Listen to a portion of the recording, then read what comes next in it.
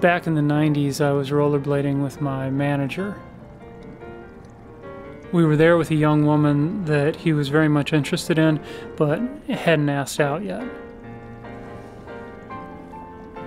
I was wearing a t shirt of the rock band Bush.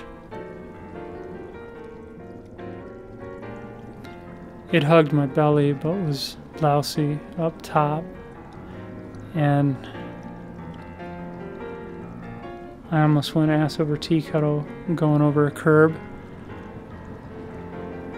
And my manager, in front of the young woman, said, Nice Bush t shirt. And they smiled at each other, and I ended up rollerblading home alone.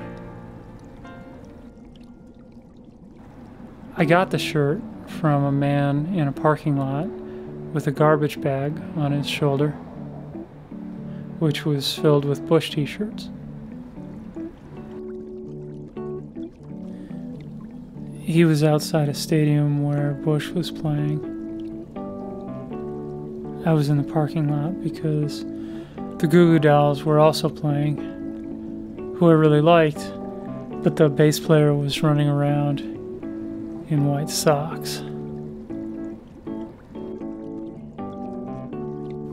No shoes, but white socks. Which would have been fine back in the 80s, in the time of Ghostbusters or Hands Across America. But this was the 90s. You couldn't do that around Nirvana. So I went outside, and the guy in the parking lot yelled at me, walked over, and got a shirt out of the garbage bag. Yes. Well, hello, and welcome to Christmas.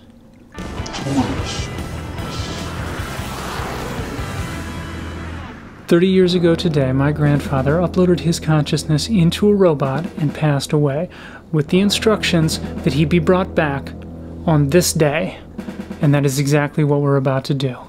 I give you Grandpa 2.0.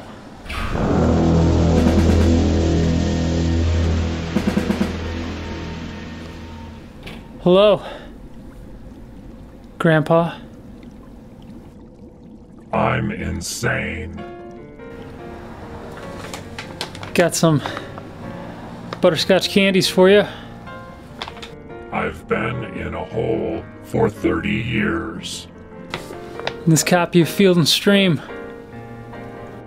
I screamed for 10 years. Remember how you taught me to play catch? I should have had an off switch.